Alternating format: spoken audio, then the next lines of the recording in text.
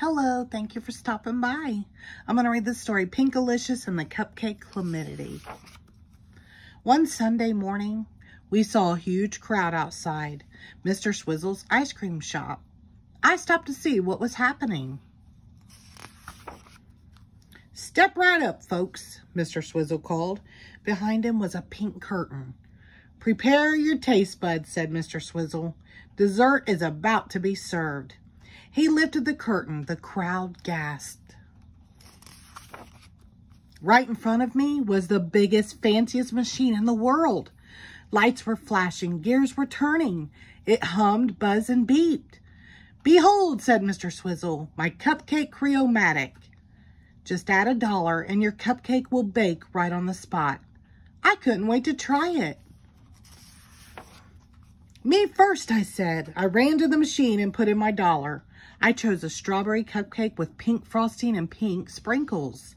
I pressed the green button. Nothing happened. Bake, I said, pressing again. But no cupcake came out. Let me try, said Allison.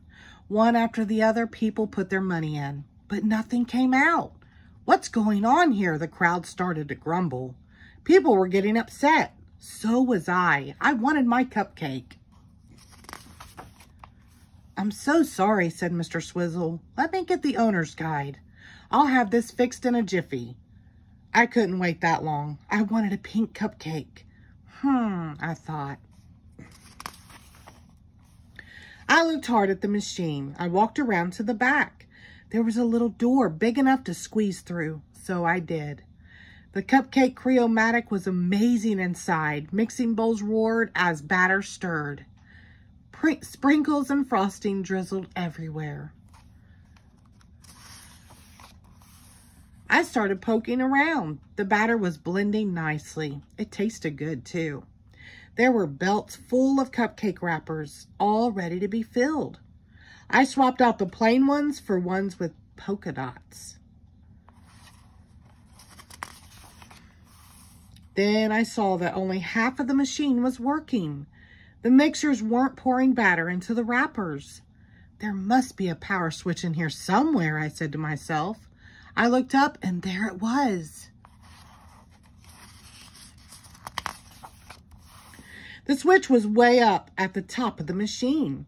I climbed all the way there. It's cupcake time, I said as I flipped it on. The cupcake Creomatic started rumbling right away. In fact, it started rattling.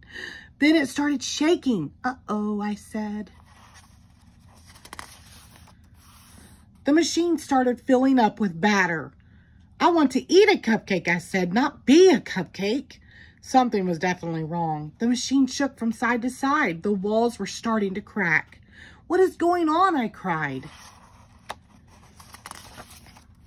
Boom! The next thing I knew, I was outside again. The walls of the machine had fallen down around me. I was sitting on top of the world's biggest cupcake. Pinkalicious, cried Mr. Swizzle. What are you doing up there? Are you okay? I blinked. I smiled. Yes, I am perfect. In fact, I couldn't be better, I said.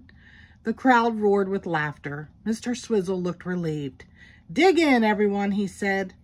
Everyone loved the giant treat. Sorry about your machine, I told Mr. Swizzle. That's okay, Pinkalicious, he said. From now on, I'll stick to ice cream and leave the cupcakes to you. The end. Thank you.